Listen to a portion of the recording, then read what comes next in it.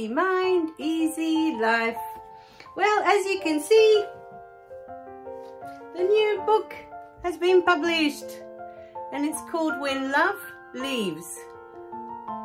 Or as my daughter would say, when love, when lobe leaves, because she thinks the V looks like a B.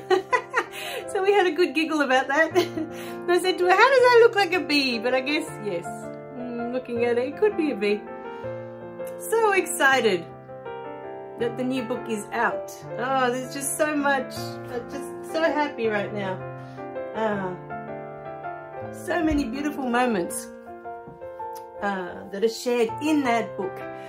So, yeah, I'm just really um, happy. The box came yesterday and um, that's why the videos have been kind of on and off, on and off. because uh, once I get uh, guidance, you know, that I have to do something, um, especially when it comes to writing, uh, I always get an urge to do it.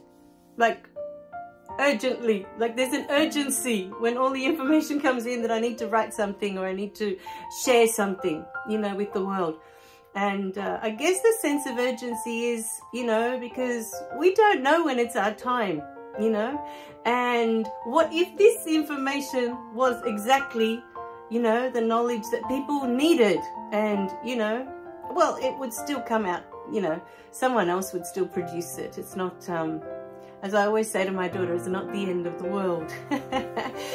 so uh, yeah, today I'm, I'm, in a different space. I've had a few days after, you know, I finished with all the editing part of the book and we designed the cover with my daughter.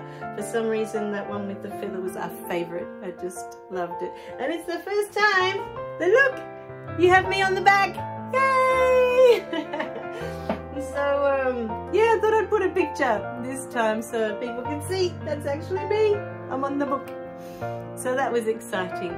But there was, um, you know, after I wrote it and it, the process was finished, there's always like an emptiness. It's like this outpouring of information. You know, there's this download that I get and it comes out and it goes onto the paper, you know, onto the page. And then it feels like when it, the process is done and it's finished and I've been told that's the last stage, right, and I'll be receiving the book soon, there's always like an emptiness that happens after. Like I'm empty again. Uh, it's hard to explain.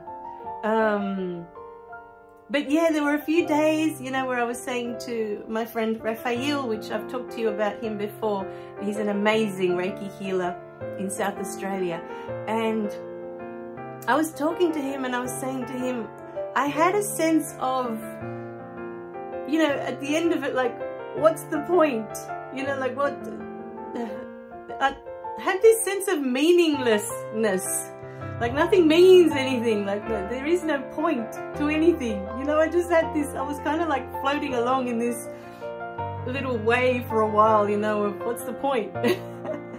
um, it doesn't mean anything. What does it mean? You know, I just, um, I fell into that funk for a little while, you know, and um, yes, there, there is no point. You know, we are here to experience and, you know, your soul already has the plan of what it is that it wanted to experience.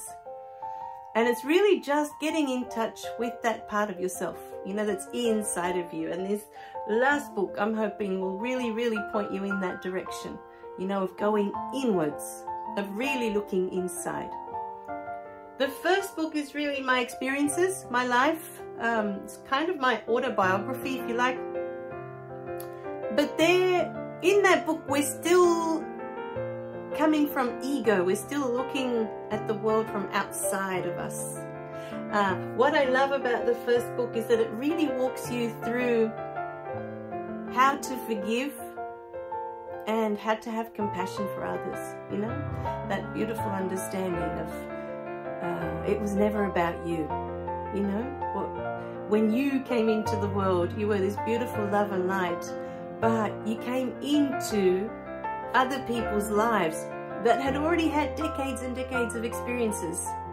And some good and some not so good, you know, but these people, when you come into their lives, what we call parents, they're already at a certain point in their lives, you know. Um, they've already strayed from love for the most part. You know, most of us do not walk into uh, parents that are in a loving space, you know. Uh, and that creates our journey into life, you know. But the first book, the beauty of it is to look at, you know, the fact that it was never about you. You know, your parents were already in that space before you even came.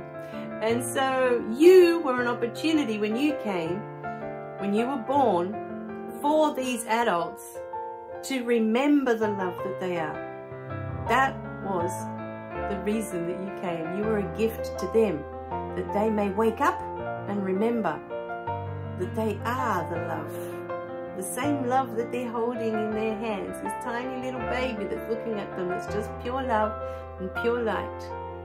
They are that as well. And they have a chance when you're born to remember that, you know, to go back to the love that they are as well. But for many of us, you know, our souls, that's not what this journey is about. It's not about remembering yet. It came to experience other things, you know? And so we have to respect others. We don't need to understand their journey. We just have to respect that that is what they're here for. You know, it's not about us understanding it. Even if it's our actual partner that we live with, you know, our husbands, our wives, our, you know, boyfriends, girlfriends, the people that you share your life with, no matter how many years you might be together with that person, you know, their journey is still their own they still have their own experiences that they came to have. And some of them they share with you because you are together, sharing a life together, but not all of their experiences are going to be what you came to experience. And so that's where you divert sometimes, you know?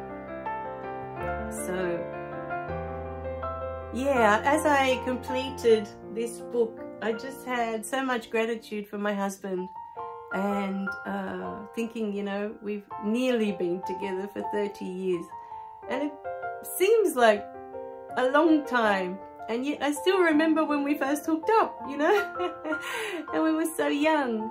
But my gratitude for him was more about the fact that the first book happened because of something he said, you know, and he's always pushing me, you know, to look outside the box you know, to not just take things at face value as what they show up as, but to, you know, look outside of that. Always, he's always pushing me to look outside. And that book came about because he asked me the question, are you still looking at your mother like you're five years old? It was one simple question. And it stayed in my mind and it brewed and it brewed and it brewed, you know, like coffee percolating in there for months until one day I, I, I understood the question. I understood what he asked me, you know, and from there was that that was born, you know, because I just started to look for answers. I needed to know, you know, why I was stuck way back there at the age of five. Why was I still stuck there? I needed to understand it. I needed to know why. And uh, the truth is that until you actually look at it, you'll find in your life you have certain patterns that keep repeating. You can change your job, you'll go to another job, but then the issues you were having in the first job somehow seem to follow you to whatever other job you have after. Partners, you'll change partners. And whatever issues you were having with the first partner, you'll find that they chase you with each partner that you have after that. And so it goes, you know. Um, you can travel the world, go from place to place to place to place, and you'll find that the patterns stay intact. And that's because we placed them there in childhood. We place those patterns there because they were the life lessons that we came to experience. And it's really, uh, it's really quite beautiful how it all comes together. You know, when you understand it, that that's how it was meant to be, you know? And that everything that has shown up in your life was meant to be there. It's not an accident, it's not coincidence, and it's not bad luck. There is no such thing. You were meant to have that experience. And when you really start looking at why, why was I meant to have that experience? What was my soul trying to learn from that? What experience am I trying to get out of that? What lesson? Then you're on the right path, you know? Oh, forgiveness. Oh, compassion. Oh, kindness. Oh, they're the things that we're here for. What we're truly here for. That's the point. All right, my darlings. I love you guys. Remember to click like and subscribe so you don't miss any of the messages and I'll see you in the next video. Bye for now.